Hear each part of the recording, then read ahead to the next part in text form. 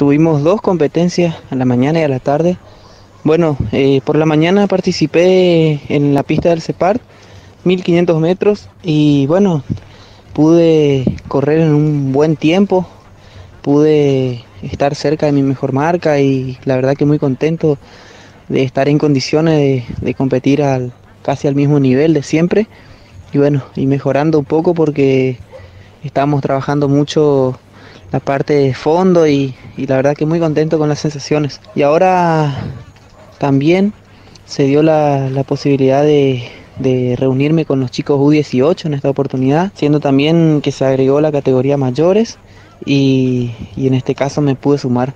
Así que muy contento y agradecido también a la gente de, de Oberá, que, eh, a la dirección de deporte que se sumó con el traslado.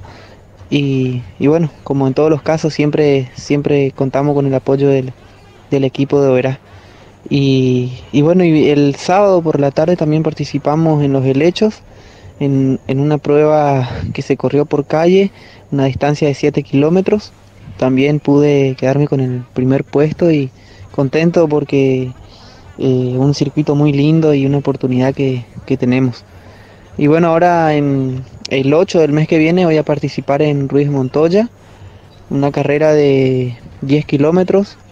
Y bueno, pero el objetivo principal es el en septiembre, para la fecha del 18, tenemos la Copa Nacional de, Clubes y posiblemente estaremos ahí largando los 1500 y 5000 metros en pista. Así que ese es el objetivo y bueno, y también eh, no quiero descartar el Nacional de Cross que se va a hacer en, en Bariloche hasta el momento y bueno, vamos a ver la posibilidad de que hay y por, por lo tanto eh, seguimos trabajando muchísimo para, para llegar de la mejor manera.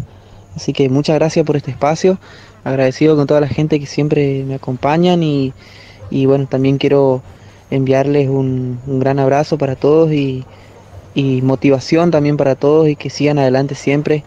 Por acá seguimos trabajando de a poco, pero, pero vamos.